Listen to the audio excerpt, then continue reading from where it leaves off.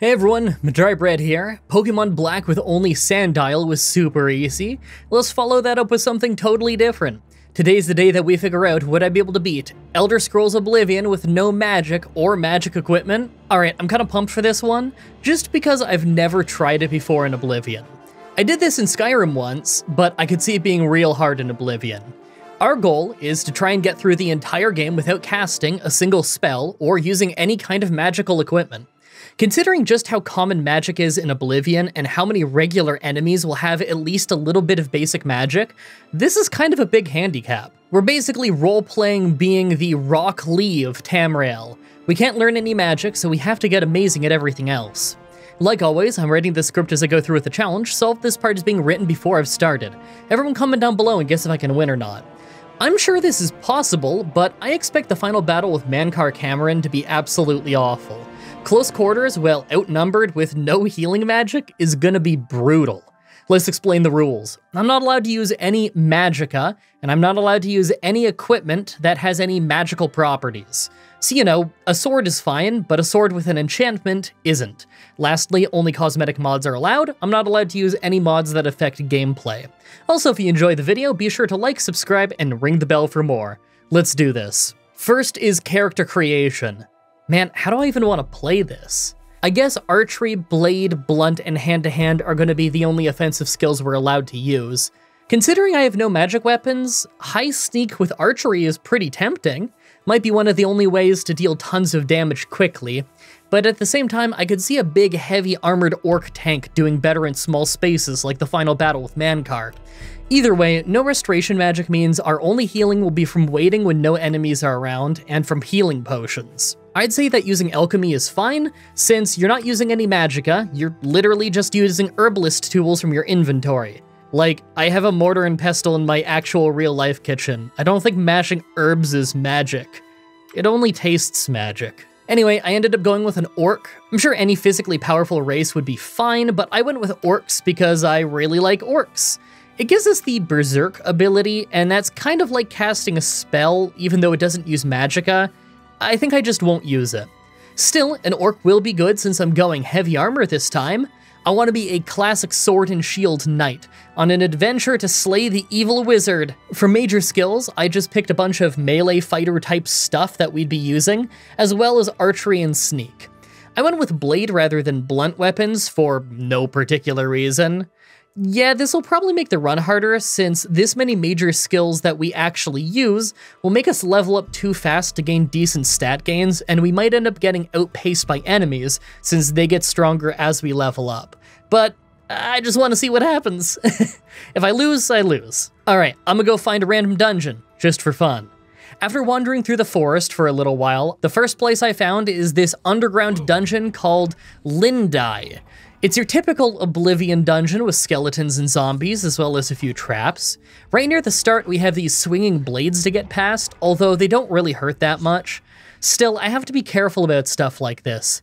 We can't just use a weak healing spell, so our only way of healing when enemies are around are potions. I really don't want to waste those. Next was the open room with gas traps and a few zombies.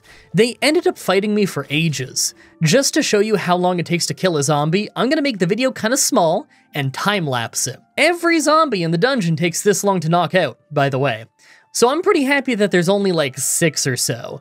The skeletons just aren't that bad to fight.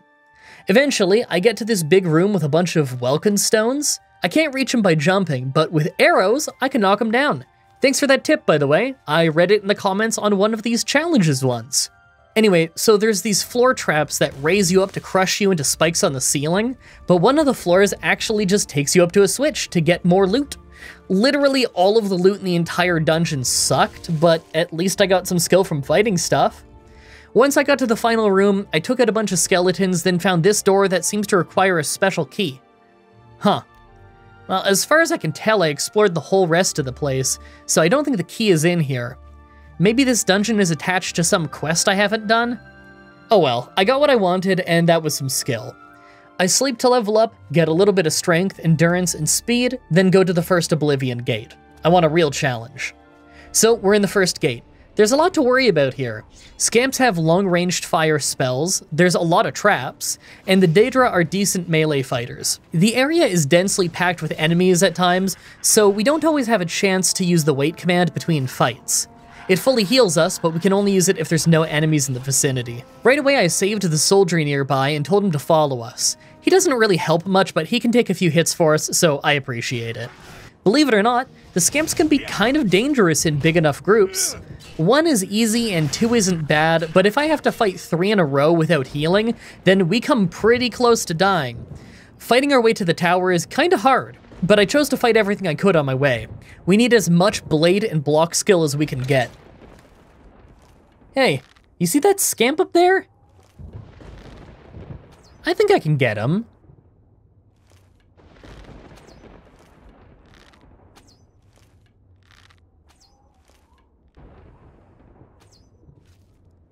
Did I get him?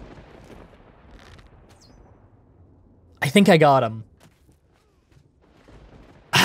yep. I'm basically the best archer ever. Nobody else compares. Oh. I think he got jumped while I was doing target practice. Eh, you win some, you lose some. So the tower itself isn't too bad, but we do have to be careful to wait whenever we can for health. The armored up Daedra look like they'd be the most dangerous in this place, but they actually go down in a few hits. We have to be careful since they hit a bit harder and they attack pretty fast compared to Scamps, but I'd argue the Scamps are more dangerous since they have so much more health. As long as I'm careful to wait whenever I can and keep my sword in good shape with repair hammers, I'm okay. In the final room, there were two Daedric, uh, wizards, casters, mages? I guess mages. They were super easy, but the second one tried to take me out by draining my destruction magic. Joke's on you, we don't have any. The tower itself was actually easier than the rest of Oblivion outside of it. Who knew? With that done, we all storm the city to get Sean Bean. I wonder how confusing this game must be to people who've only experienced this game through my challenges but haven't seen the first one where I explained the plot as I went. Anyway, next is the bar fight, then the book collection quest, and of course a bit of the sewers. In other words, a lot of busy work. Rest assured, though, that I'm trying to grind out every last bit of skill that I can on my way. I want to level up as fast as I can, since the faster I can level up, the sooner we can get some non-magical gear. Sure, the enemy will get stronger too, but uh, I want to try something new for once. Hail, Dragonborn! Hail, Martin Hail! Time for that bar fight. We actually got a katana now that we're a member of the Blades, so that's got 6 attack rather than 3 on our old steel sword. The fight was super easy in general though, since it's 2 on 1. Then of course we have to do the sewers. There's no danger here, Baurus takes out everything in one hit for us, as if we needed help. I kind of want to come down here when I'm super high level one day though, just to see if the sewer is filled with super high level monsters. That could be funny. At the end of this is the meeting with the recruiter, and I'm actually a little bit worried about how the fight will go since we'll be outnumbered, but I've got some health potions, so I think it'll be okay. While we're fighting through the sewers, this video is once again sponsored by you guys on Patreon. This is all a one-man show, and I'm way too picky with ads to get ones that I don't like to fill time between the good ones, so I think fan support is a preferable alternative to lying about products for advertisement money, as is unfortunately so common on YouTube. As always though, the show is totally free.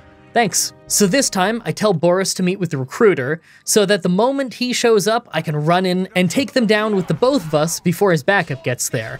It works great as we take him down so fast that his guards don't even enter the room. Must have just been rats. Did they really not notice us? Okay, there we go. Yeah, they were pretty easy too. This is for sure a better strategy than just attacking them one-on-one -on -one at the table. Man, our level up stats kinda suck. Next up is the Mythic Dawn base. I always love this place. The first major fight with a huge group of people. Most of them don't really have great armor either, so we can probably take them out pretty fast, as long as we're careful not to get shot down by their spells. Then you have come here to die. Paradise. You know, for a character with dialogue, you'd think he'd have more health. So this base is divided into three major parts. The first part was super easy, just a few guards that can mostly fight one-on-one. This is the warm-up for the second part where you have the massive fight on the altar. After that is the third part where we have to fight lots of cultists, but most of them tend to be really weak and run away at low health. The first part went great, so I'm confident going into the altar fight. Right away, I snuck up on them while they were praying, then lunged in to start fighting. Most of these guys only take three or four hits to take down, but plenty of them like to hang back and shoot lightning at us, and those hits actually deal a lot of damage. There's also a few guys with full armor and weapons, they were a bit of a problem. In the end, we actually came really close to dying, and there was one guard who just kept constantly shooting lightning at me, so I had to be really careful to hide behind stuff to block it until I could get up close and finish them off. It was a really close call. The rest of the base was basically my reward for surviving the big fight. We got to fight tons of super weak cultists that don't have any armor. Normally I wouldn't bother hunting down every last fleeing opponent that I can, it takes a while, but we get blade experience for hitting them, and I want as much as I can get. Next up is the Spy's Quest, where I, uh, just wait around for hours at this rock. Then the spies show up and fight me. There's two of them, but they never show up at the same time, so even though they have a lot more health than the normal Daedra, I still just beat them in one-on-one -on -one melee duels. Actually, the second one was much easier than the first, because he kept getting distracted by a deer and trying to fight it instead. This is the caliber of individual that joins the Mythic Dawn. Next up, we need a Daedra artifact. Now, I know we'd get absolutely destroyed if I went to the usual vampire cave, so we're gonna do the really fun Clavicus Vile quest instead. Nothing I'd like to talk about. I ran into some good day. in the woods. How are you? Border Watch has gotta be the most Oblivion location in all of Oblivion. Black Marsh has become more dangerous than ever. So I pick this lock to steal some super cheese that they have. Then I go put it in a pot in the middle of town so that the town gets overrun with rats. Then I grab the rat poison that they put out and put it in the sheep's food. Most of them never touched it, but they all died in unison anyway. Then it started raining flaming wolves, and uh, that's the end of the quest. I explained how this quest works in full in a previous Oblivion challenge, but uh, Uh, I don't remember what one, and I'm too busy to look it up while I type this. So I guess you're just gonna have to all go rewatch all of my Oblivion challenges for context. Link in the description to the playlist. Have fun. So, Brumagate is normally super easy, and it still wasn't too bad, but this is the hardest time I've ever had with it. Since we're level 4, the Daedra here will often have magical weapons. Obviously, we can't use them, but at least we can sell them. Some have really weird effects, like this one near the tower. After a fight with one of the Daedra, I realized I was glowing, so I looked at his mace, and it drains your illusion magic while making you produce light. Why would you ever put those enchantments on a mace? it makes your opponent glow. I guess maybe it's good for like, if they like to turn invisible? You know what? Draining illusion magic and making you glow could be a useful enchantment if you're fighting an invisible opponent. Anyway, the tower itself is pretty easy. I did a good job of keeping most of our guards alive so that we could run in and just mob anybody who gets in our way. While I was here, I got a silver sword off a dead guard. Considering the next dungeon has ghosts and you need silver weapons to hit them, this is perfect timing. Speaking of, we're in Sancre Tor. This place is full of ghosts and skeletons. Our job is to hunt down and defeat all of the skeletons that hold the souls of the old members of the Blades. There's no specific ones that's super hard in here, so it's not like there's a final boss or anything, just a bit of travel. Actually, the ghosts in here can get pretty annoying because if we try to run past them too much, they start following us through the whole dungeon, and they're pretty dangerous in large numbers, so I had to keep stopping to take them out. Plus, while they're following us, we count as in combat, so we can't heal by waiting. That makes this dungeon take about two times longer than normal. The actual blades aren't that tough though, even though a few of them have magical swords because we've leveled a bit, they still weren't a problem. The ghosts knocking us down with snowballs when our stamina was low was much worse. It didn't take long before we got the armor, but this is actually the closest we've come to dying in a while. Next up is Miscarcand, the place with a bunch of zombies and goblins fighting. Now, despite being a higher level than usual, this place is mostly the same, No new enemies, although I think some of the goblins have better gear than usual. I could be wrong. The goblins were actually much harder to fight than the zombies for once, as our silver sword seems to do a pretty good job against the zombies. They still take a lot of hits to take down, but they stumble all the time, so it's really not that bad. In the boss fight here with the Lich, I rush towards him the moment he shows up, trying to knock him out before he can get behind his zombie bodyguards. He almost got away, but I just managed to blitz him down, then I was able to easily continue backing up and fighting his bodyguards till they were done. They may have looked a little close, but if I really wanted to be a jerk, I'm sure I could have taken off my heavy armor, jumped out of their range, and then rained down arrows on them since we have hundreds of them. Still, I'm happy I could take him out with my sword. Makes me feel more confident about the Mankar fight. Okay, next up is the defense of Bruma and the Great Gate. Now, you can do some side quests so that you'll have more and better armored guards to help in the defense of Bruma, but in my experience, you don't need any of that. They can do the whole fight on their own without any help when you're level 1. That said, we're already level 6, the highest we've been at this point in any challenge run actually, so the enemies might be too strong for them. The enemies get stronger as we level up, but I don't think that our allies get stronger. Let's see. Well, it starts off okay, but stronger and stronger enemies start spawning as it goes. It doesn't take long before the guards actually get overwhelmed. This is bad because if Sean Bean dies here, then it counts as you dying and you have to load a save. At some point, the Daedra ran after us, so I just kept blocking and waiting for the gate to open. As soon as it did, I ran in. Now, I know there's no way that we're making it up the tower within the time limit if I stand and fight everything, so I sprint for it. In heavy armor. yeah, we take a lot of hits along the way, and we actually lose our first few health potions of the entire challenge because I kept stepping in lava. I got to the tower alright, but once I was in there, it was super intense. I was getting chased the whole way, leaping out of the way of traps, trying to dodge around enemies in front of me, all while running away from the ones that were right behind me. Being a lot slower due to heavy armor meant that I only ever had a small lead on them, and any time I was waiting for a slow door to open, I was putting my back to a wall, holding up my shield, blocking hits, and looking for my chance to run past. The whole way, I just kept hearing the sounds of spells hitting walls behind me as I ran. When I finally got to the top, I grabbed the sigil stone, shielded up, and waited for the gate to close. Not only did we survive, but because Baurus and Burd died, we can scavenge their blades armor to get ourselves a much stronger suit of heavy armor than the iron stuff that we had been wearing since the start of the run. With that done, all that's left is the gate to paradise.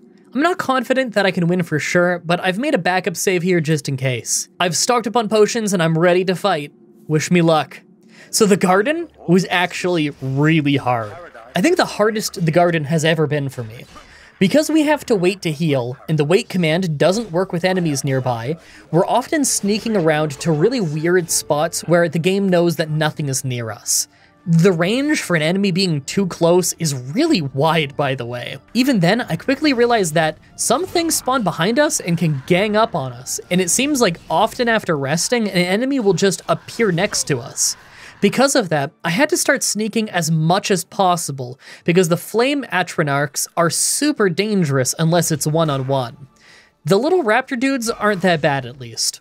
At the boss fight at the end, I had to switch to the third person camera because the fire effects from his sword are so blinding. The fight here was super easy though. It was much easier than just fighting two fire Atronachs in a row. Oh yeah, and he drops the Band of the Chosen. Technically it's magic gear, but like you literally have to wear it to open the door in here, and all they do is make you take extra fire damage. So I don't think it breaks the rules. It makes you weaker than if you're not wearing them. This isn't an advantage. So the grotto is kind of dangerous. Lots of fire Atronachs spawn, and we have a fire weakness due to the bands of the Chosen. So I'm extra careful to try and lead them away from each other so that we can fight them well, not always one-on-one, -on -one, but the closest that I can manage. Personally, I prefer fighting the little raptor dudes, they're the weakest thing in here. I mean, other than, of course, unarmored cultists. Whenever I got the chance, I just pushed enemies into the lava to save us having to fight them. Yeah, even the flame dudes die by falling in lava, for some reason. Once we got to the final section of the grotto, it was easy. There was one hard part where we had to fight two flame atronachs and a scamp at the same time, but by being careful to get them stuck on walls and stuff like that, we could pick them off and still be okay. Believe it or not, but it was much harder to get distance from enemies to allow us to heal in the garden rather than the grotto. Alright, the final stretch before Mankar, the hardest fight in the game. Here's the idea that I have in mind.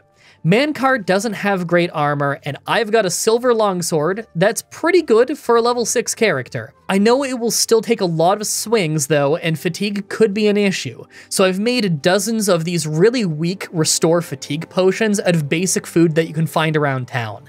That might be enough to keep stamina from being a problem, but only time will tell. Let me know in the comments if you think we can win this or not. Let's do this. The moment I enter the room, I drink a few weak potions to boost our strength and to give us night vision, then jump Mankar's guards while he's still talking.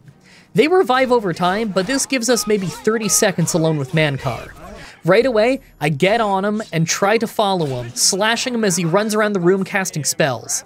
It doesn't take long before I notice that the guards have revived and our buddy went down, so I'm constantly going in and out of the menu, drinking potions whenever it says that I'm allowed to again. There's a little bit of a cooldown on drinking too many potions at once. I'm mostly drinking stamina potions, but one or two healing potions were required. I keep going for side power attacks to hopefully disarm Mankar of his staff, but we ended up disarming him of his life instead. That was a first try on the Mankar fight without any magic gear. That was awesome. All that's left is the Siege of the Imperial City. This part is usually easy, but we're also not usually level 6 here, so stronger stuff spawns. And by that I mean it's mostly normal stuff, but the Daedra tend to have better weapons. Other than that, it goes the same. So the same, in fact, that this happened yet again.